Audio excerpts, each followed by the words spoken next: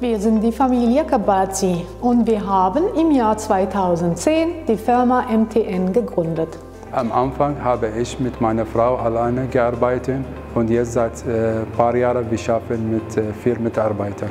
Das ist eine kleine Firma und wir montieren in erster Linie Klimaanlagen, Kühlanlagen und Tiefkühlanlagen für Privat- oder Firmen und betreuen auch diese Projekte.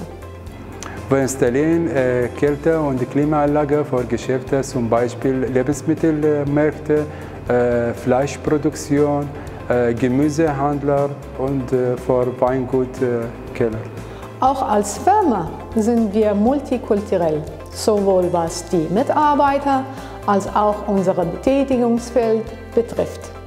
Der Aufbau der Firma erforderte harte Arbeit, aber dadurch haben wir uns gut etabliert.